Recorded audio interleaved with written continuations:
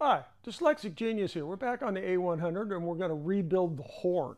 And this applies to any Edison diamond disc. This is the tracking device. This has to float, has to be loose right here, right there. But you want to just come in and to be safe, you just give a little of oil right there, right there, wipe off a little excess. Goes like that. Next you want to flex hone this hole this is where the lift handle fits in. What I do is on the belt sander, I just grind off a little bevel on the edge that helps this go in. You need to clean all this, flex hone in here, because we have the slot which goes into this screw, and you want this to be able to just uh, slide in smoothly. You want to do like this. Okay, we'll put it in, it'll go boop, just like that. That's what you want. So now how do we assemble it? On the tracking device, we have this pin that goes through. We have a spring. And then that goes into this hole. Lift up.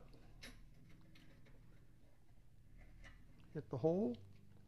Hold this in place take a square nut. I've pre-oiled them on uh, off camera. Let's tighten that up a little. You want this horizontal because we're going to have to adjust this later down the road and it's going to, it can become tricky.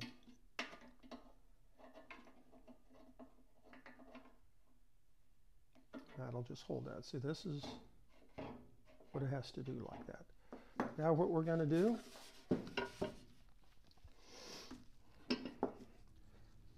on the previous videos of the machine, I said that the screw that goes in the slot, there wasn't one. So I, on the belt sander, I sanded down the nut that was in there so it'll fit perfectly into the slot like this. This is very critical. So now what we're going to do, we're going to put in the base piece here. We want to do this so it'll come apart one day. So we're going to take some wonderful anti-seize, this silvery aluminum oil junk. And we're going to put just a little on it like that.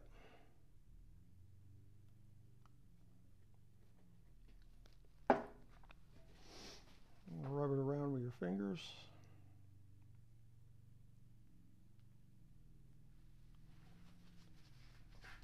That goes in here.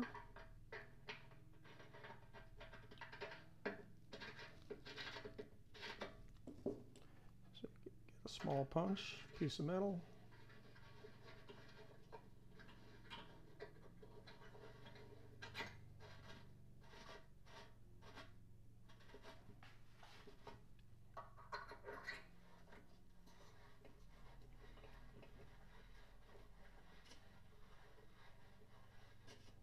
This is the horn height adjustment.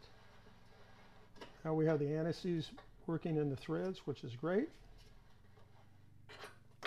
We're going to put in a square nut here.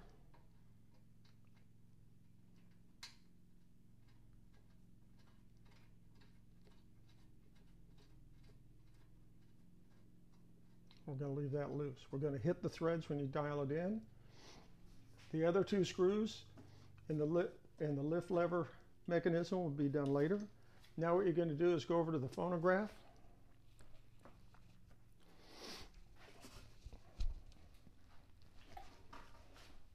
With some sewing machine oil. I want to clean out the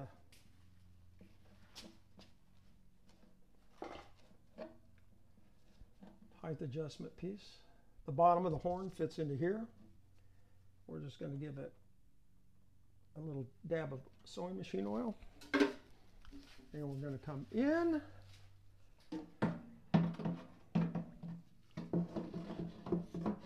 Turn the horn around. And then drop it into there like that. And that's all there is to it.